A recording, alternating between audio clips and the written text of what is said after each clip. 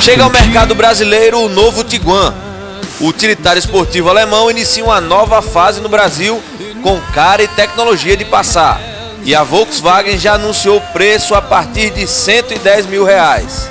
Os principais diferenciais são os sistemas tecnológicos e mecânicos, que incluem inovações como o detector de fadiga, partida do motor sem uso da chave e o Parque Assist 2.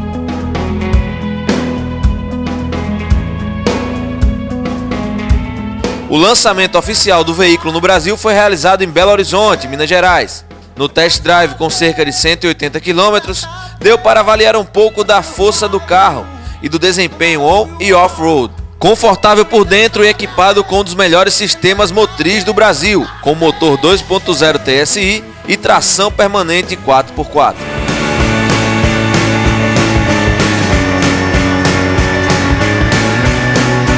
Novo Tiguan adota o DNA de estilo mundial da Volkswagen. Os faróis auxiliares também atuam como luzes direcionais, acionadas em curvas fechadas em baixa velocidade.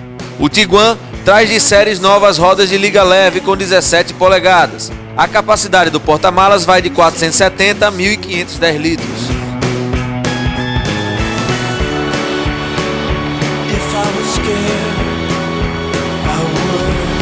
Outra novidade é a tela colorida no conjunto de instrumentos, com dados exibidos na horizontal. O utilitário traz de série CD player com tela touchscreen, capacidade para 6 discos, Bluetooth, 8 alto-falantes e entradas de áudio externo para SD card e iPod. O sistema de navegação integrado pode ser adquirido como opcional. O motor 2.0 TSI tem potência de 200 cavalos a 5.100 RPM. O sistema de câmbio automático de 6 marchas e comando Tiptronic faz com que o Tiguan atinja 100 km por hora em 8,5 segundos e permite uma velocidade máxima de 207 km por hora. O sistema 4Motion usado no Tiguan se adapta às condições de uso, distribuindo a força do motor para as quatro rodas de acordo com a situação. Importante adendo ao sistema de segurança é o detector de fadiga, que analisa a forma como o motorista dirige e compara com os 15 primeiros minutos de direção. Caso detecte um desvio no comportamento ao volante, o equipamento emite um alerta sugerindo ao condutor uma parada para descansar e tomar um café.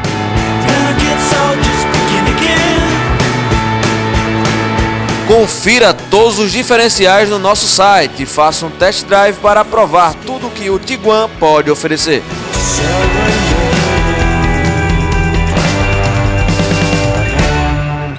E o Motorização está de volta e nós aqui em Iotim, maior museu ao céu aberto do mundo. Ao meu lado aqui, João Euclides, mineiro, e também o Silvio Menezes, do Jornal do Comércio, nosso parceiro aqui de Pernambuco.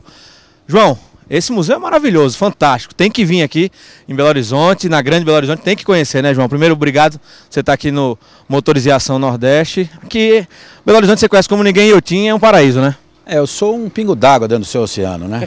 Então, aqui a gente não tem mar, o mar nosso é esse aqui, né?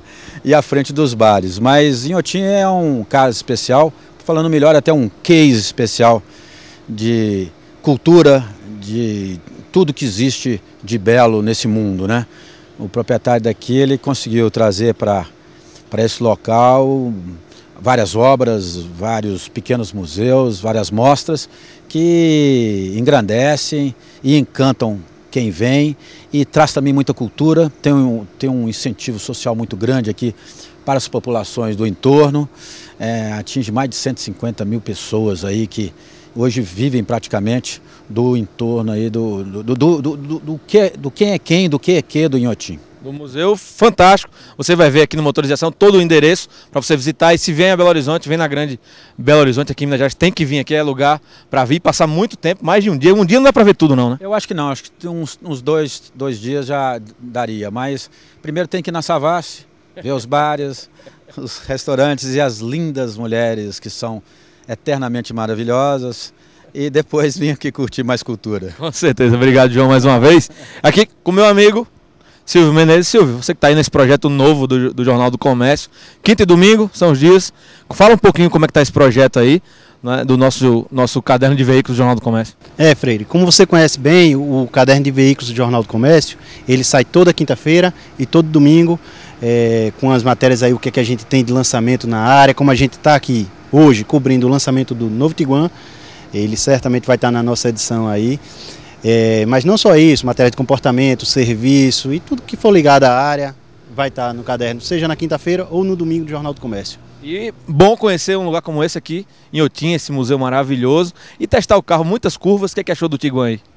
Mas sem dúvida, como o João falou aqui, o lugar é muito interessante, as mineiras, uai, nem se fala.